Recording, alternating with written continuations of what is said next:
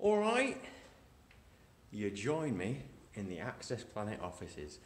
This is a talkie vlog. If you're new around here, which believe it or not, there are some, I don't know why, but I do two vlogs a week. I do an edited one over the weekend with like supposed to be bits of the week to sort of remember what's going on. And then on a Wednesday, I do what's called a talkie vlog, which is just one, one straight through robots. It's just, it's like not edited. It's just I just hit record, and whatever I'm thinking about, I just say.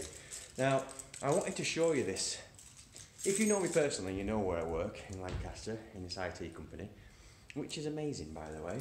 And I'll get onto that in a bit because, you know, it's going to be a bit deep and meaningful. I think it is because I don't typically know what I'm going to say until I hit record. But as I was walking through the door and unlocking it from the gym, which is downstairs, I thought, I know what I'll say. I'm going to record a bit of spiel.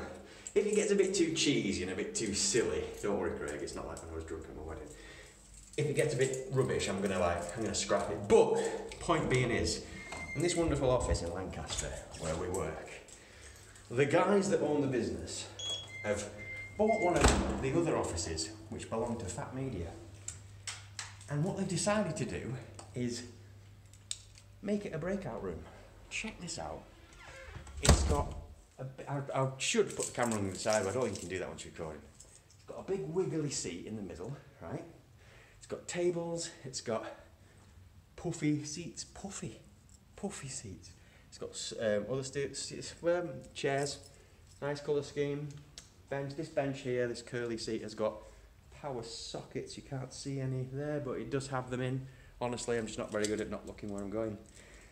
And this bit over here is fake grass, astroturf, just like what I've got in my garden.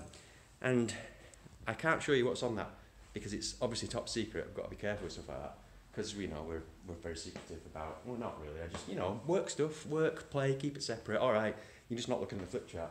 But look at this, this seat in here. so you can come in here and you can just work, and it's enforced to be like a learning environment that you just come into and you just learn. You just like bring a book. We're going to get some speakers in. There's to be some TED talks. There's to be all sorts of things the main men that own the company are like properly pouring money that we're making into like it being an excellent place to work.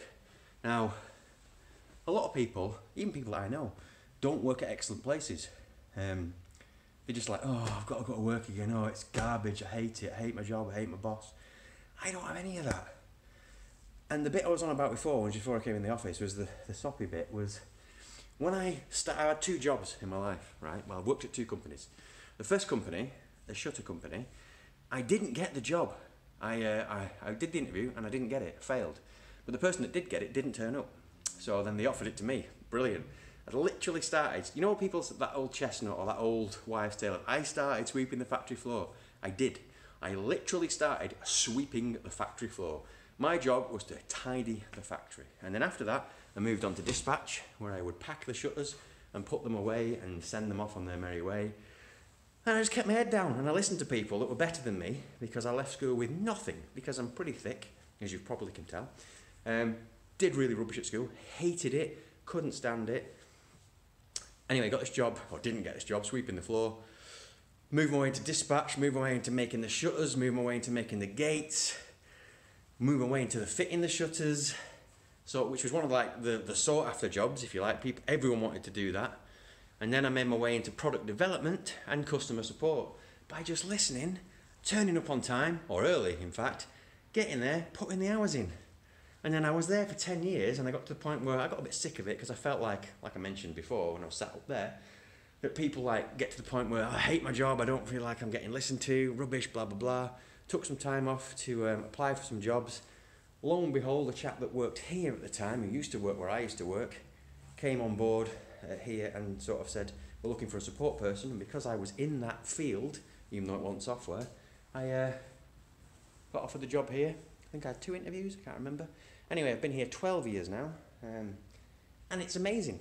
And that's from me, who is the incarnation of literally rubbish, pathetic grades at school, and started sweeping a factory floor, work my way up to working in a fantastic company where I spring out of bed in the morning and go like, excellent, I want to go to work. And I want to go to work here, and I want to come in this room and sit on those beanbags. There's going to be a dartboard there, by the way. There's going to be a mural of graphics going up on that wall tomorrow. There's going to be a pool table, which has been ordered. Um, and I think there's like a table football, I think, or there is on the plan anyway.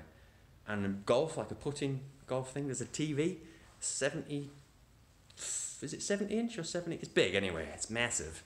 It's bigger than me, it's huge. And that's where this we're gonna have our meetings and everyone sits on there with like, you put your head in between people's legs facing outwards this way, a little bit awkward, but you know, it's cool. Coming in here, it's fantastic. I'm only conscious not to turn and face that flip chart in case there's anything bad on it. Secret if bad, it's never bad. I don't know.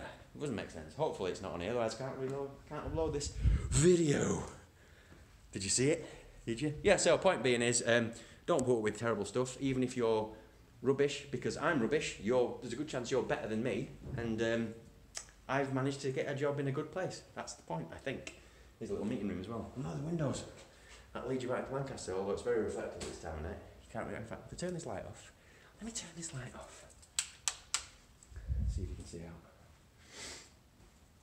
Yeah, that's Lancaster, out there. Um, there's an ambulance, if you can see it. Uh, yeah, so that's what I wanted to say. So, actual content about the place I love. I actually, actually love it. I actually love my job. That that exists. I don't hear about it much, but it does. It's a real thing. So, uh, the point of this story is, um, even if you're rubbish, you can do well if you keep your head down and listen to people that are better than you, and just learn and don't say that you're better than them. And turn up on time. Or early, actually. Turn up early. Please turn up early. Nothing worse than being late. Anyway, that's all I wanted to say. My desk's a bit of a mess. Uh, I need to clean it up. And I'm going to lock the office up and go home now and upload this video if it's not got anything weird on it. Take care now. Bye bye then.